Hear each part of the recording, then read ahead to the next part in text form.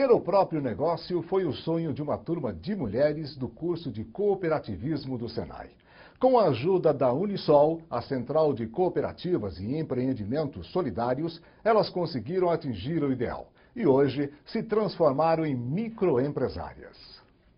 Luzia, Clara, Simone, Sandra e Conceição se conheceram em 2007 no curso de cooperativismo do Senai. Em 2008, com mais nove mulheres, formaram a Coop Estilos, uma cooperativa de confecção com o apoio da incubadora pública de Santo André.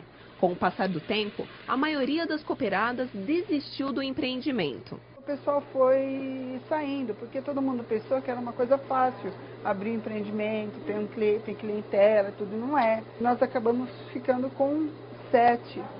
E aí também perdemos o apoio da prefeitura. Para continuar a produção, elas se mudaram para a laje da Casa da Luzia, no bairro de São Mateus, em São Paulo mas o número de cooperadas já era muito reduzido e a Copistilos não poderia continuar, já que o contrato social exigia no mínimo nove cooperadas. A solução veio da parceria com a Unisol Brasil, a Central de Cooperativas e Empreendimentos Solidários. Com a, o apoio da, da Unisol, eles arrumaram alguém para abrir para a gente a preço de custo, a abertura da nova empresa.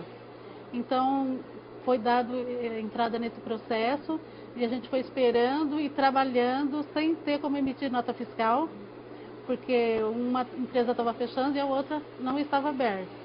E no início de janeiro a gente já começou a passar a nossa nota fiscal mesmo da empresa, que já está toda aberta, legalizada. Hoje nós somos cinco sócias, é, o capital dividido igualmente em todas, todas têm poder de decisão, vence a maioria.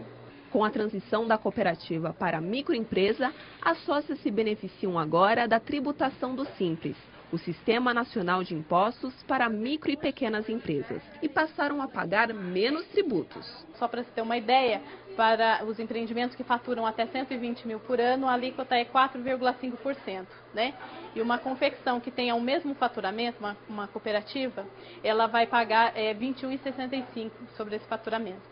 Né? Então, é uma diferença muito grande. Então, hoje a Unisol Brasil, ela está é, numa luta para que as cooperativas tenham é, uma tributação adequada a, ao seu faturamento.